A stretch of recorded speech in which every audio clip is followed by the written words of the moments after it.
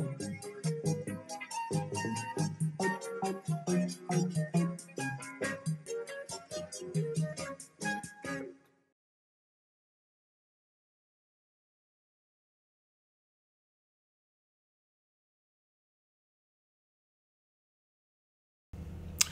Mr. Utterson arrived home and he opens his safe and he retrieves the will of Dr. Jekyll.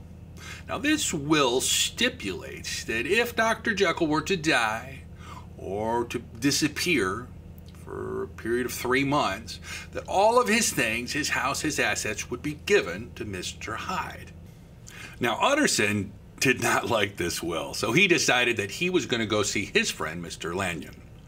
He wanted to have a conversation about Mr. Hyde. Now, that night, Mr. Utterson couldn't sleep. He was worried about the will.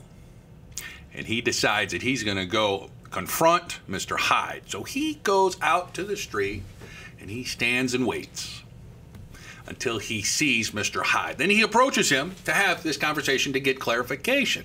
Again, he was so disgusted by his appearance. Now, Utterson then decided to check on Dr. Jekyll.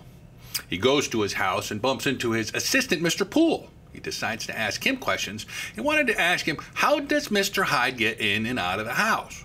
Mr. Poole says he never comes in this area of the house. He always goes around the back side of the house where the laboratory is. Mr. Utterson wonders what's the connection between Dr. Jekyll and Mr. Hyde?